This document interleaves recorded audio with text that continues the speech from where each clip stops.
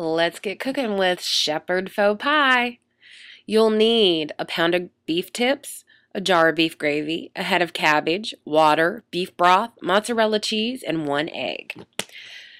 Take your cauliflower and place it in a steam bag for the microwave with uh, a little, about two tablespoons of water. And you're going to cook that for about five minutes. And it's going to be able to be mushed. You're going to put it in a bowl and um, take your mixer, blender, masher, whatever, and make it all smooth. Uh, you're going to add your cheese to it, about a cup, two cups of cheese. Um, and then you're going to add an egg. And you're going to blend this together, and that's going to make it to be able to be held together. It's going to be what's holding it. And you're going to take your uh, two pounds of chopped beef, a two cups of beef stock or beef broth.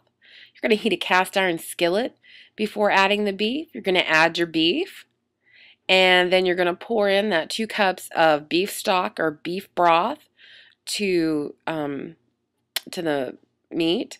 And You're going to bring it to a boil for three minutes and then let it simmer. And let me tell you, it makes the beef so tender. You're going to remove the beef and pour the gravy on it and mix it all together. Put it in a casserole dish. And then take that mashed cauliflower and you're going to put it over and you're going to smooth it, kind of like you're smoothing icing or potatoes.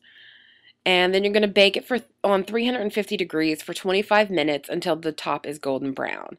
And there you have a really um, tasty, low calorie dinner.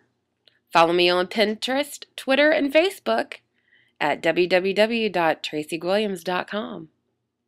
Thanks for watching.